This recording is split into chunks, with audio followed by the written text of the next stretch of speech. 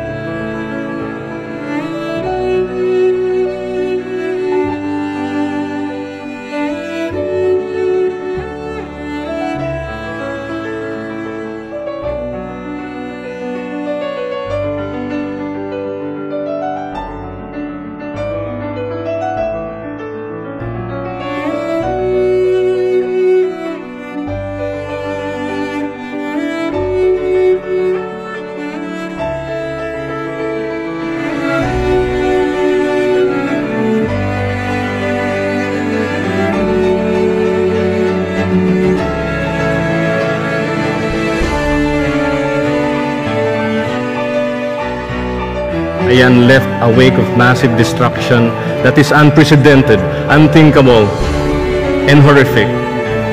And the devastation is staggering. I struggle to find words even for the images that we see on the news coverage. And I struggle to find words to describe how I, feel about the losses. I speak, speak for the countless people who will no longer be able to speak for themselves after perishing from the storm. I speak also for those who have been orphaned by the storm. I speak for those who have the people now raising this time to save survivors and alleviate the suffering of the people affected. We can take drastic action now to ensure that we prevent a future where super typhoons become a way of life.